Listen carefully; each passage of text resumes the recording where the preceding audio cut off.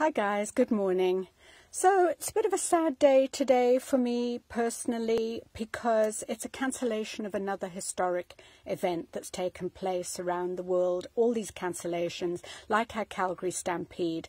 In Helston, Cornwall, in the UK, where I grew up, there's a tradition called Flora Day, and this would take place, would have taken place this weekend, but of course it's been cancelled. This is an ancient tradition that goes back centuries, where the townspeople and the children dance through the streets to a particular song and a particular kind of dance, and it's to celebrate the uh, victory over the Spanish Armada and uh, all sorts of other historic events, and of course the market and the harvest coming in and all of those good things.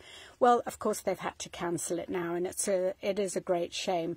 So when we were little at school, there we used to participate in the dances, and the girls would all be in white, and we would have little flowers around our head like this, and it was a great day day. We had a fun fair, and uh, it, it was a lot of excitement leading up to this. In the middle of the day, the noonday dance, that was the special one because only the people who, bore, who were born in Helston could participate in that. So you can imagine it was a great honour, and whoever led the dance was obviously somebody quite well known and respected in the neighbourhood. So a little bit like, you know, if somebody asked you to lead the uh, opening of Stampede in our uh, Stampede parade, that would be a similar kind of honour. If ever any of you are thinking of travelling to England, don't forget Cornwall. It's tucked away in the southwest corner. It is beautiful. It's not as busy as a lot of the other places.